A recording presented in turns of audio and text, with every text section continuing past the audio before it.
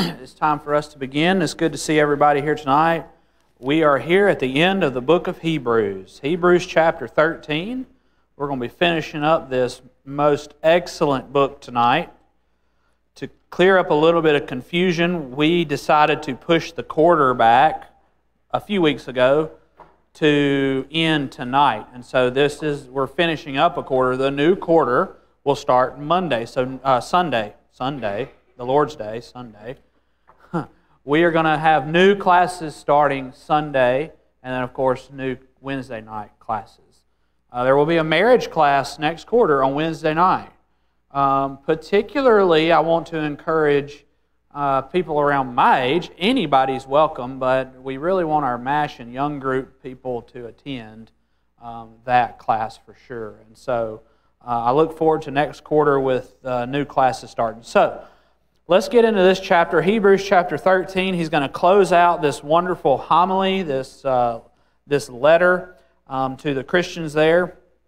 And he's going to close with some more exhortations and some encouraging warnings. Um, and he's going to really uh, kind of fire them off in rapid order. Uh, and so we're going to go through some things real quickly. Um, but there's a lot of good information in here. Chapter 13, in my opinion, sounds and feels more like an epistle a letter that was written, whereas all the other material that we've gone through has felt and sounded like a sermon. And so chapter 13 sounds most like an epistle. And I think you'll see that as we go through here. So let's start reading in chapter 13, verse 1. Let brotherly love continue. Do not neglect to show hospitality to strangers, for thereby some have entertained angels unawares. Remember those who are in prison as though, as though in prison with them, and those who are mistreated, since you are also in the body. Let marriage be held in honor among all, and let the marriage bed be undefiled, for God will judge the sexually immoral and adulterous. Now, if you remember back to the end of chapter 12, we close that chapter with the idea of uh, being grateful and offering acceptable, the word says worship, but it can be translated service to God. So he goes on into chapter 13 and begins to tell us how we serve God. How do we serve God? By serving each other. He starts off, let brotherly love continue. It's important to see that he says continue. They had already been doing this. You go back to chapter 10, it talked about how they were taking care of people in prison and things like that. And so they had done a good job, but he wanted them to continue that. This is a sibling type of love that he's talking about. In ancient times, that was one of the most highest forms of love that there was, was this love between siblings. Now, I have to be honest, and this is going to sound weird at first, but just bear with me. I probably did not appreciate this type of love until I became involved with Morgan and her sister.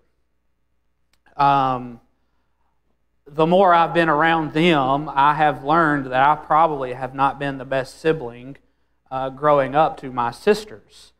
Uh, but the type of love that Morgan and her sister have is the type of love that's being talked about here. What do they do? Every single day, they talk to each other. They want to know what's going on in each other's lives. They want to know if they can help each other. You know what else they do? They don't let little things come between them. They don't let little arguments stay between them. I've ne- I was blown away the first time I saw them argue. Not because of how they argued, but because five minutes later it was like they didn't argue. They didn't let it come between them. And so that is the type of love that's being talked about here. Have concern for each other, take care of each other, be involved in each other's lives. Don't let little things that don't matter come between you. We're trying to help each other get to heaven. That's what's being discussed here.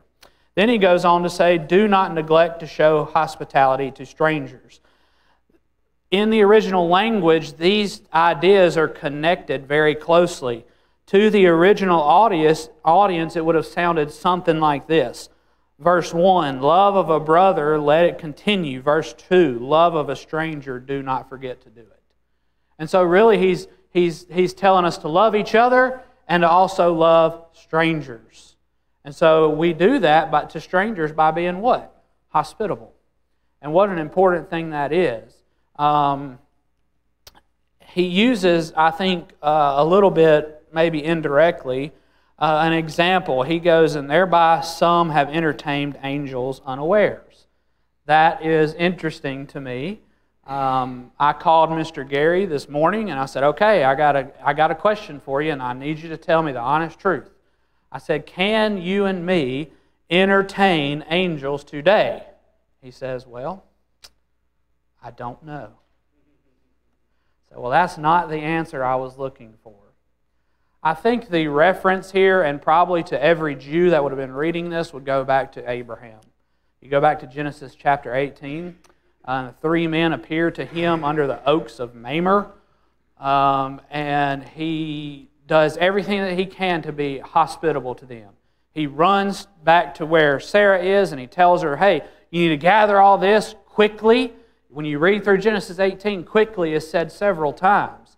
You need to gather all this. I want you to make some bread. And what does he do? He goes to the field and he finds a calf who is ready to be uh, um, sacrificed and served, which would have been a delicacy in that time. And so he does all these things to be a hospitable host uh, to these visitors that he has. Now, I do think it's important for us to know, while I will be the first to say I agree with Mr. Gary, I do not know whether me and you can entertain angels today. I do not know that. I will say, I think it's important to, for us to realize it is not the, per, the point of this verse for us to be hospitable with the hope of entertaining angels. I think what's being said here in short, is when you are hospitable, you never know what that's going to bring you. Neil Lightfoot, in his little book on the book of Hebrews, summed it up this way The reference to angels does not mean that Christians should practice hospitality uh, with the express hope of entertaining angels. It is instead another way of saying that those who show hospitality to all often gain unexpected benefits from their guest. In other words, you never know what hospitality might bring. and so I think that's important for us to realize. We are hospitable to strangers. I would like to add that I think that is such a good way for us to help convert people when we are hospitable to strangers. And so I think that's important for us to remember. Verse 3 Remember those who are in prison as, those, as though in prison with them, and those who are mistreated, since you are also in the body. Now, Prison during that time was certainly not like our prisons now. Uh, they would not have had good treatment and good care uh, while they were in prison during back in this time. And so any type of decent food or care that would have been given would have been from people that knew them that came to visit. And oftentimes, people would risk their own incarceration by going to visit people in prison. And so uh, the challenge there is for them to remember those who are in prison as if they were in prison as well. The principle behind this is uh, demonstrated in a couple of different verses. You have Paul in 1 Corinthians chapter 12. What does he say? When one suffers as a part of the body, guess who else suffers? Everyone else. The Lord Himself in Matthew chapter 7, you go back to the golden rule treat others the way you want to be treated. If I'm in prison, get, who do I want to come and see me and remember me while I'm in prison? All of you. And so that's the idea that's being talked about here. Now, let's talk about verse 4 just for a couple of minutes. Let marriage be held in honor among all. Stop right there. Let marriage be held in honor among all how far the world has gotten away from that, haven't they? Not only is divorce just, I mean, not a big deal to the world. Uh, you know, I marry somebody and, you know, we can try that out for a few months. If we don't like it, guess what? We'll just get divorced. Well, that nowhere matches what Scripture teaches, does it? Uh, now, of course, you have the idea of marriage between a man and a man or a woman and a woman being pushed heavily, don't we? That's not honoring God's marriage law, is it? And so it's important to realize that, that the world is mixed up on the front of marriage. And I would be the first to tell you that I think most of, if at least most of the world's problems can be solved by fixing the family. I'm a firm believer of that. Uh, and part of that is honoring God's rule for marriage. However, I do want to pause just for a moment and I want to encourage all of us. While it's easy for us to stand here and talk about the way, the, thing, the way things are in the world, and that's true, and it's important for us to know that, and it's important for us to teach our kids that. However, are me and you honoring our marriage by following God's rules for marriage? And I'm not talking about the specific example that he goes on to here in just a minute about being sexually immoral and adulterous. I'm talking about husbands. Are you loving your wives as Christ loved the church? If you're not, you're not honoring your marriage. Wives, are you submitting to your husband? If not, you're not honoring your marriage. It's that simple. And so I think the challenge for us in, in the church sometimes is we look outside so often and we see what's wrong in the world. Sometimes maybe we need to look within and we need to make sure hey, am I also honoring my marriage? Am I fulfilling my role as a husband? Trust me, I'm talking to myself as much as anybody else. Do I love her as Christ loved the church? If not, I'm not honoring my marriage. And so he goes on and he gives a specific example, uh, and he says, God will judge the sexually immoral and adulterous. Um, how much plainer can you get? Um, and how troubling it is that that is such a problem, again, not only in the world, but also in the Lord's church. It is a problem. Um, I just want to say to those of us who have parents, I mean, who have kids that are parents, um, we have a job ahead of us of doing all that we can to make sure our kids honor what God wants them to be. And I think a part of that is not letting them be exposed to the way the world is. And some of that is involved with not having a smartphone or access to the internet, all these different things. The access is so easy to things that Christians don't need to be involved with. And so I just want to challenge all of us who have influence over young children uh, to be diligent with that. And I want to challenge all of us to make sure that we are following God's design for marriage, including are we staying pure? Are we doing what we can to honor our spouse. He goes on and he says in verse 5 Keep your life free from the love of money and be content with what you have, for he has said, I will never leave you nor forsake you. So we can confident, confidently say, The Lord is my helper. I will not fear. What can man do to me? Verse 7 Remember your leaders, those who spoke to you the word of God. Consider the outcome of their way, uh, of, the, of their way of life, and imitate their faith. So he goes on and he uh, tells them in verse 5 to, he warns them against the idea of being greedy, loving money.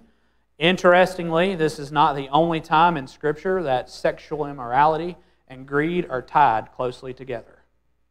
Uh, Ephesians chapter 5, Paul does that as well. He links covetousness and sexual impurity very closely. Why is that? Well, both of those are extreme forms of selfishness, aren't they? And ultimately, almost especially with the love of money, it comes down to a lack of faith and trust in God. It's a lack of trust that He will do what these verses say. And He says, I will never leave you nor forsake you. If that is in the forefront of our mind, guess what? We're going to be content. We're not going to be worried about having so much here that we have. We're going to depend on God. Why? Because He is going to be there. The material things of this world are fleeting, aren't they? Read through the book of Ecclesiastes and tell me what Solomon came to the conclusion of. All of it was vanity. Guess what that means? Useless, meaningless, has no value, no lasting value. And so, the point is don't focus on loving and gaining so much in this world. What do we focus on? We focus on having God and Him being there with us. That reference, that, that verse there, I will never leave you nor forsake you, uh, is a reference back to Deuteronomy chapter 31 and also Joshua chapter 1. Those are a couple of different references. In Joshua chapter 1, you have Joshua being commissioned to lead Israel across the Jordan into the land of Canaan finally. And God tells him several different times, Be strong and courageous. And he also says, I will never leave you nor forsake you. How do we get through this world? Content with whatever we have. How do we get? We know that God is there with us. That's why he goes on to say there in verse 6 The Lord is my helper, and I will not fear. What can man do to me? What can happen to us if we don't have all that we have in this world? I think about my life. And I ask myself this a lot. What would happen if I just lost everything? Like if it like Job. What would be my response to that? Well, I hope that I have these ideas minted right here that it's okay because God is there with me and He is my helper. And so, he warns them not to have the love of money. And then in verse 7, he says, Remember your leaders, those who spoke to you the word of God, and consider the outcome of their way of life and imitate their faith. So there will be two more references to their leaders in this chapter. And I think there are two different groups of leaders that he is talking to. This is the first group that he is talking about. This group of leaders were ones that, that had taught them the Word of God at the beginning. And it seems to me that these are ones who are no longer with them in this world, that they have passed away. That's why he says, consider the outcome of their way of life and imitate their faith. So not only do you go back to chapter 11 and you look at the beginning of chapter 12, and these wonderful Christians have these cloud of witnesses there to look to and help be examples of how to be faithful to God and imitate, they also have the leaders that taught them the Word of God to look at their life. And don't you and I have the very same thing? What a blessing it is to have known Dale Ledbetter, Mr. and Miss Holcomb. The list could go Miss Gladys Tomlinson. How many of you remember Miss Gladys Tomlinson? What a blessing it is to have had people in my life like that. And all of you know, know more people than that. The list could go on and on. But that's what he's. T- Remember these type of people. Look to their life. It's so valuable, I think, to um, have the scripture to look to, where I can read about Abraham, and I know the things that he went through, and I can understand uh, the challenges that were ahead of him, and I can see that God was there with him, and he came out on the other side, and God was still there. But isn't there something different about having somebody who you talked to? You saw them cry, you saw them hurt, you saw them come through things in your life. And you can look back and you can remember them, and what a blessing that is. And so he tells them to remember your leaders and imitate their way of life. Then he says in verse 8 Jesus Christ is the same yesterday and today and forever. Now, I dedicated one full slide to this verse because I think it is of extreme importance for a couple of reasons. First off, I just want to say on a cursory quick read of this chapter, when you read through the whole chapter, start to finish, and you get, and you read verses 7, 8, 9, 10, and 11, at first, chapter verse 8 seems almost just out of place. Look, read with me verse 7. Remember your leaders, those who spoke to you the word of God. Consider the outcome of their way of life and imitate their faith. Jesus Christ is the same yesterday and today and forever. Do not be led away by diverse or strange teachings, for it is good for the heart to be strengthened by grace, so forth and so on. So he's, he's firing off these warnings and these exhortations. Don't do this, don't do this, don't do this. Jesus Christ is the same yesterday, today, and forever. However, when you dig into this, I think it teaches us a very, very valuable lesson and one that we've seen already in this book. And so it almost reinforces the idea. Remember the leaders who did what? Spoke to you the word of God. And then what does he say in verse 8? Jesus Christ is the same forever. In other words, the same Jesus that was taught to you at the beginning is the same Jesus that is sitting on the throne right now. And if he is the same, guess what else is the same? His message. Do not turn away from Jesus. He is there, He's on the throne, He is ruling right now Nothing has or will ever change that. That goes back all the way to chapter 1 at the beginning and the beginning of chapter 2 of Hebrews. Remember back to chapter 1, and he talks about all these different ways that Jesus is better than the angels, right?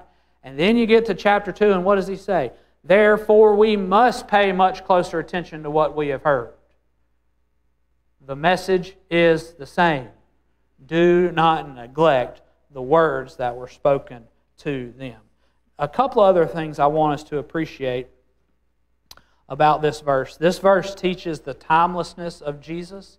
Um, we all know that. Um, other verses support that. You look at Isaiah chapter 41, it says, I, the Lord, uh, am the first and the last, I am He. Jesus Christ Himself, while He was on earth in John chapter 8, uh, in verse 58, says, Before Abraham was, I am. What is he saying? Well, really, that goes back to Exodus chapter 3, doesn't it?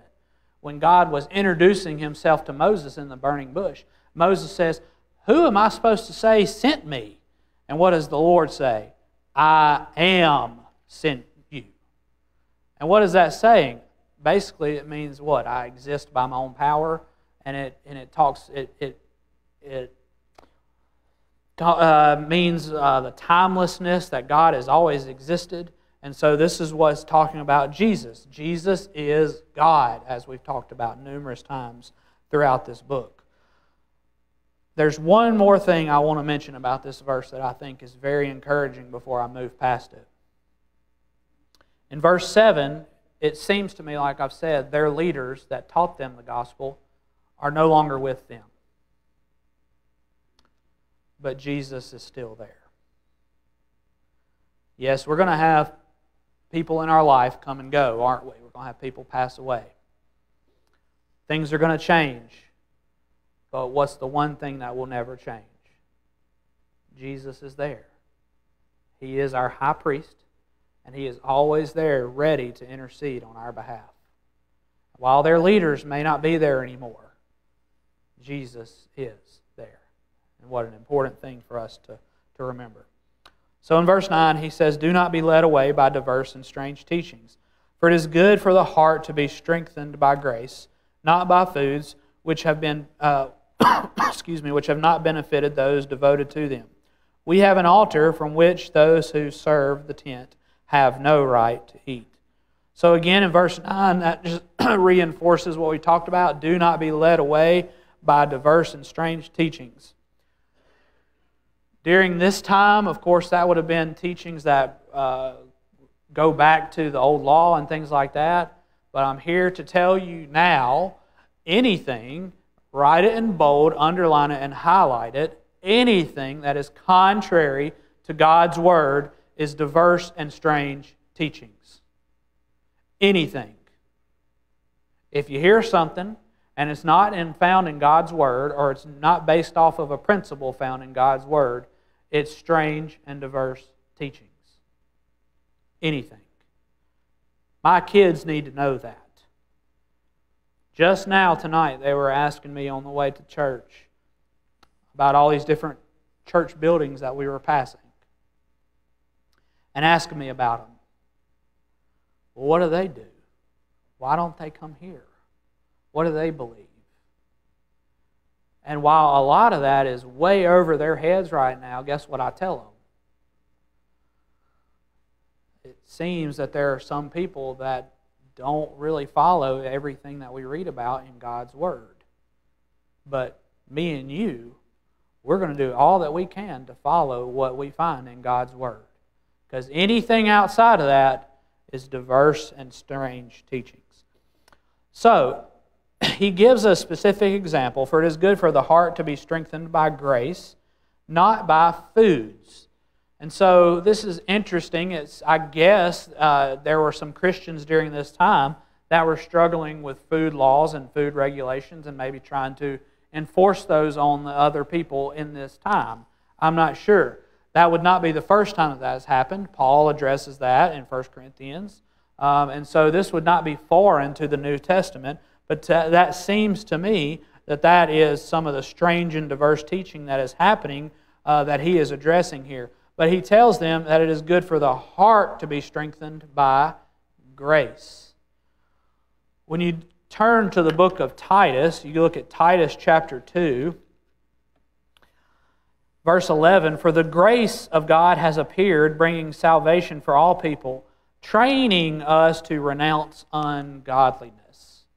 What is the grace that's being talked about here? Well, the grace that I know about that trains us, what trains us? What is good for our heart? The Word of God.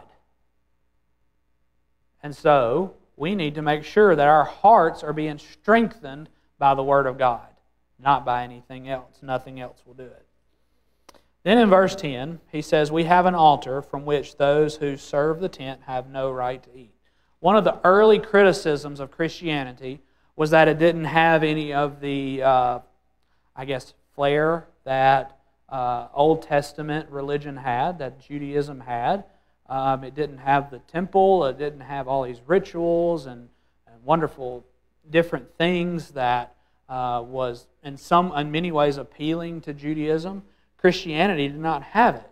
And so, the author is kind of re- rebuttaling that. He's saying we do have an altar. My question is what's the altar that's being referenced here in verse 10? We have an altar that those who serve the tent have no right to eat. So, under the Levitical system, under those procedures, the priests had the right to share or to partake of the sacrificial offerings. To eat of the altar, then, was to eat of the sacrifice. So, what is our sacrifice? What is our altar? It's the sacrifice of Jesus. And so, he's going to elaborate in verses 11 through 16 how do we participate in that? How do we partake of that? Verse 11 For the bodies of those animals who the blood is brought into the holy places by the high priest as a sacrifice for sin are burned outside the camp. That is a reference to the Day of Atonement. They would take the animals and they would sacrifice and burn their bodies outside of the camp and then bring their blood in to the altar. Verse 12 So Jesus also suffered outside the gate, or, if you will, outside the camp. Where was Jesus crucified?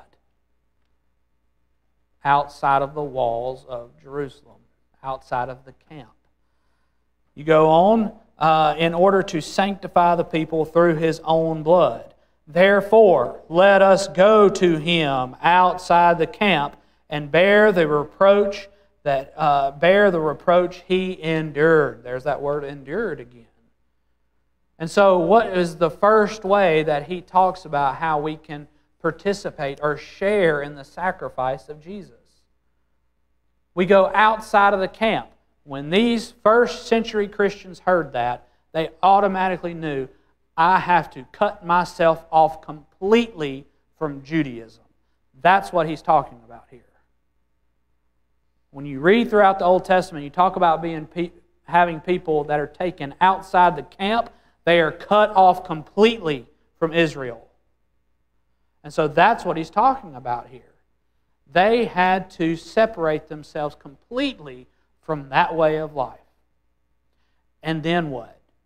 They had to bear the reproach that he endured. We cannot be a part of the sacrifice or share in that sacrifice of Jesus without suffering as he did. Now, we're not going to literally suffer like he did, right? At least, most hopefully not. But we can't get through this life as a Christian and avoid suffering. We can't. The Bible tells us that we can't. That's important for us. Now, how are you and I going to be outside of the camp? We're not in danger, as I've said a couple of times, of going back to Judaism, are we? So, what do we separate ourselves from? What do we cut ourselves off from completely? The world. Completely. There's no straddling it, is there? I was talking a couple of times today about how important it is for us to teach our kids. I was talking about it to patients a couple times. I was just now talking about it to Hannah's dad. And one of the things that bothers me so much in the world is, is the emphasis that is played on secu- placed on secular things, specifically sports. That was brought up a couple of times. And this is just a very minor example. As Christians, we cannot ever put that ahead of God. If we do it one time, kids are going to remember it. So, what do we do? We cut ourselves off completely. I'm not saying you can't participate in sports, but when there's a choice between being at Bible class and worship and going to play in a game that has no effect on your eternal salvation, what do we do? We go outside the camp. And we come to Bible class and we learn about God and we worship Him. So, we have to go outside the camp and bear the reproach that He endured. Verse 14 For here we have no lasting city, but we seek a city that is, a, is to come. Verse 15 Through Him, let then let us continually offer up a sacrifice of praise to God, that is the fruit uh, the fruit of lips that acknowledge his name. This is just another way of saying that we confess. A couple of times throughout this book, if you remember, there's been a couple of, of, of exhortations that say what? Hold fast your confession. And now, what does he say? You have to continually praise God and confess his name. I've heard Mr. Gary say this a couple of times. Uh, it's not really a confession, but it's a what? Profession. It's a way of life, isn't it? In other words, it doesn't just happen once whenever I decide to obey the gospel. No, it is continual, and that's what he says here. So, number two way that we participate in the altar or the sacrifice of Jesus is we continually offer praise and confession to him. Verse 16 then, do not neglect to do good and to share what you have, for such sacrifices are pleasing to God. And so, the other way, another way that we do that is we do good to others. Uh, we've seen a little bit of this already in the beginning of the chapter when he told them to remember those in prison and remember those who are struggling, right? He, he talks about that in verse 4. Now he says this is another way that we can participate in the altar or the sacrifice of Jesus. And, and I want us to be impressed with the wording do not neglect. This is not an option, it's an imperative. We must do good to those around us, and we must share the things that we have. It is not an option. So, he goes on in verse 17, and he comes back to the leaders of the congregation. Verse 17 Obey your leaders and submit to them, for they are keeping watch over your souls as those who will have to give an account. Let them do this with joy and not with groaning, for that would be of no advantage to you. So, uh, you remember just a moment ago, I said, excuse me, I think there's a couple of different groups of leaders that he's talking about. Ones that have already passed away, but now these are their current leaders. Remember your leaders, obey your leaders, and submit to them. Again, that is not a choice. Obey, and it's reinforced by submit. Now, of course, I think it is understood that that is within the context of Scripture, right? If anybody tells us to do anything contrary to God's word, we don't have to obey that. God is above everybody, right? So we owe everything to God first. Fortunately, we do not have to worry about that here, do we? And so we obey and submit. But why? He goes on to give us a couple of reasons. Number one, for they are keeping watch over your souls. That word there for watch over can be translated, that can talk about, uh, carries the idea of being sleepless, to lie awake at night with care. And that's the responsibility that our shepherds have. And I can tell you, at least ones that I know well, that is what happens. They lose sleep. Why? Because of the concerns they have for the sheep. And so it bodes for us to help them. We don't need to make their job any more difficult. And so we obey and submit because that is the great responsibility that they have. They are keeping watch over our, over our souls as those who will have to give an account. They're going to answer to the chief shepherd one day for how they took care of the Lord's sheep. Sometimes I tremble at the thought of that. I cannot imagine standing there on Judgment Day. Not only do I have to answer for my own soul, but I have to answer for how I led everyone else. But that is the responsibility that these shepherds, these leaders, have. And so, we need to obey and submit. We don't need to complain about things that don't matter. All that does is make it more difficult on them. Why would we do that? Their job is already great enough. Why would we complain about things that have no meaning, no matter? We don't need to do that. We need to obey and submit. And then he says, let them do this with joy and not with groaning, for that would be of no advantage to you. It's no advantage to us when we have leaders who are not joyful and doing that in a proper way. I have this quote for you uh, that I wrote down, and I think it summed it up well. It says, This is a sober reminder that the welfare of the church is tied to the quality of the response uh, to the current leaders. In other words, if all we do is sit back and complain and grumble and go up to them after every sermon is over, man, you need to tell that preacher he needs to quicken that up just a little bit. In, in what form or fashion does that help our leaders serve with joy? If it doesn't help them serve with joy, guess what? That's no advantage to me and you. They're not going to want to keep doing it. And guess what? The church needs good men to stand up and be leaders of the church.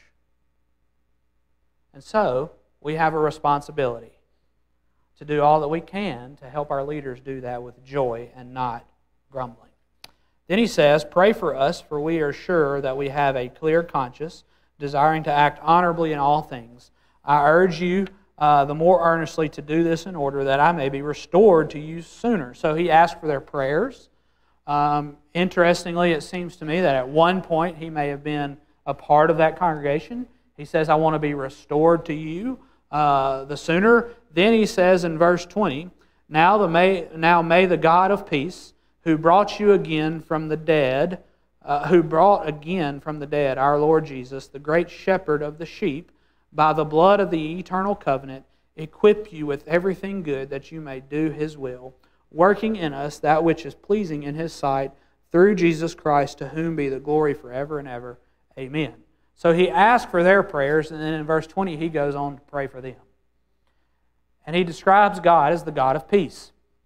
There is no other peace to be found except from God. We know that from multiple verses throughout uh, Scripture. But I find it interesting that this is, in verse 20, the only reference, direct reference to the resurrection of Jesus in all of the book of Hebrews. Now may the God of peace, who brought again from the dead our Lord Jesus. Now, interestingly, that word that he talks about, raising Jesus, is translated brought. That's not the usual word that's used in Scripture to talk about Jesus being resurrected from the dead. But it is a reminder of one of the greatest truths that we have learned in the book of Hebrews. Real quickly, look at Hebrews chapter 2, verse 10. It says, For it was fitting that he, for whom and by whom all things exist, in bringing many sons to glory, should make the founder of their salvation perfect through suffering. Jesus, God brought Jesus up out of the grave, and because of that, he is going to be able to bring us to glory. What a wonderful thought that is. So he goes on, the final few verses, verse 22 I appeal to you, brothers, bear with my word of exhortation, for I have written to you briefly. That is, that's contradictory in my head. And at one minute, he calls it a word of exhortation, and at the end of the sentence, he calls it, uh, I've written to you. So, was it a sermon? Was it written? Was it both? I don't know. Verse 23 You should know that our brother Timothy has been released, with whom I shall see you if he comes soon. Greet all your leaders and all the saints. Those who come from Italy, send your greetings. Grace be with all of you. And so he closes in a very customary way, and I think in a very appropriate way. Uh, this is a, uh, an appropriate conclusion for a work that has promised the availability of grace from our heavenly high priest. And so it closes this wonderful book. I thank you so much for your attention. I hope this has been beneficial to everyone, um, and I hope this has encouraged you to study even more this wonderful book of Hebrews. New classes start Sunday, uh, and then new classes Wednesday night.